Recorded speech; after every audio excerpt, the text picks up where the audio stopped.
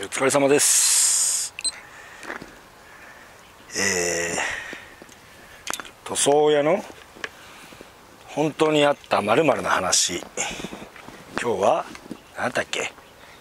職人が査察っていうかな。査察してしまった。女子高生査察の話か。職人でねの話をします。ちょっとこれ際どいけどね。なんかこんな会社に仕事頼みたくねえわってなっちゃうで。ちょっと不安なんですけどあのだいぶ昔でね。昔も昔昔も昔だしその悪いことやったのは何年後なんですけどあのー、なんちゅうんかな。普通にまあ求人できてその子ね。ちなみにね、まあ、僕その一番最初もう4年5年とか前に YouTube やっとるんですよ。なんか多分その YouTube やり始めぐらいの時の子でなんか俺も携帯で撮ってそのままねアプリでアップロードみたいな感じでその現場ちょっと職人撮ったりそのナレーションつけたりテロップつけたりじゃなくて携帯でそのままただ撮って流しとるみたいなのちょっと試しにやっとったことがあるんですけどその時のやつでねそれ YouTube にそいつ撮撮ったことあんだ。もうそれ削除してるけどその動画ね。だいぶ前に。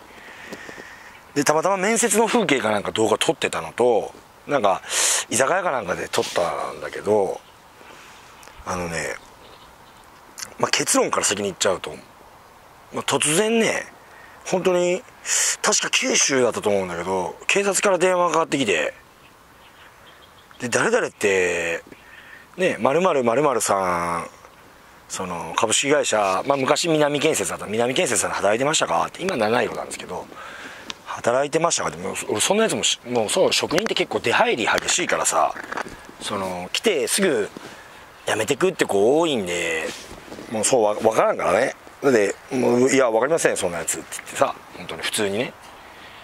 でいや本人がどうのこうのって言ってじゃあちょっと本人がうちで働いてますみたいな。って言っとったって。で最終就職はうちだって。だけどそれねそんなやつおらんずで調べてもらったら履歴書とかも全部取ってるから一応個人情報だからね。会社のもう本当に金庫にちゃんと保管してあるよ。に取ってるからあの調べてもらったらジムの人にね出てきたんだわそいつが。うん。で警察に「あ,、まあの履歴書出てきましたよ」ってで、まあ、その履歴書確かね九州から取りに来たと思う。話まで聞きに来たと思う。それぐらい重大事件になったんですよ。新聞とかその当時載ってたもん。であのー、なんちゅうかな。何をやったかっていうと俺もちょっと詳しく知らんだけどあのなんか出会い系？出会い系かなんかで知り合った女子高生か女子大生。確か女子高生だと思ってるんだけどもうそいつのことがもう、まあ、何回か会ってるのかその初めて会ったやつをやっちゃったのか知らんだけどなんかなんかナイフかなんか果物ナイフかなんかだったと思うわ。何回も刺しちゃったみたいな。すごいでしょこれもうちょっとこれ YouTube ちょっと大丈夫かっていうぐらいまあ P だけどね。うん。でもうあのなんちゅうかまあまあもちろんしんどるよね相手の子は。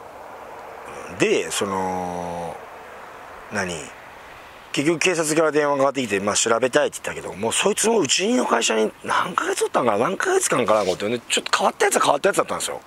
YouTube も出てるんですけど、まあ、当時その足場で入ったんですけど足場の職人でね。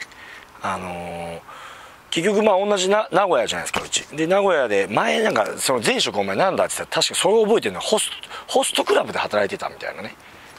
そんなやつじゃないんだよ。デラオトラシスのなんか変なトラしょぼそうなんですよね。しょぼそうって言ったらあかんけどなんかちょっとちゃんとなんか変なやつ。うん。でなんかな名古屋とかさまあ名古屋でも広いじゃん。で町の方って言ってもそう言ってもそんなあれだよ。広いよ。の方の仕事とかあるといやそっち名古屋駅周辺は行けないですとか栄周辺は行けないですとかさなんでって言ったら、いや、前の会社の先輩にバレたらやばいんで。俺もその時はまあ深く考えてなかったけど、別に。ななんかまあ変な辞め方してきたんかなんか知らんけど、まあまあ嫌な辞めいじめられたんかなぐらいにしか思ってなかったけど、えまあ、ちょっと変わった子だった。ほんで真面目な子だったね。そういうことやる子ってほんと真面目なんだろうね。だって俺考えられないよね、人刺すとか。そのカーッとまで殴ったとかはあるけど、女性は殴ったことないわ。そこまであの頭がおかしくなったことはない。うんだから案外ねすっごい真面目な子がそうなんか、まあ、バカにされたんか何なのか知らんけど女の子ね刺しちゃって、まあ、それはもうそいつが悪いと思うんですけど、うん、なかなかね、まあ、そういう話なんかいつもオチのない話で、うん、怖い話だからね本当にあった怖い話だからね。こだけどほ事実ですよ。嘘じゃない。でその子は別にうちに何か行ってきたとか警察がそれ以上なんか来たとかも、まあ、特にないです。何も。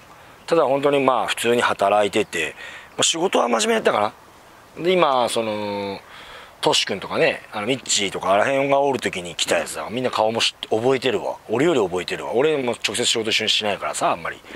あんまり分かんないけど。飲んだとかそれぐらいのレベルしか俺覚えてないけど、うん、なんかすごすごいよね。うん、でももう本当に真面目な子だったっていう話？ね。まあそれ以上でもいいかともないんですけどちょっとまだ尺が短いでもうちょっと喋らなあかんかなと思って。まあ5分か。じゃあまあこんなもんにしましょうか。また見てね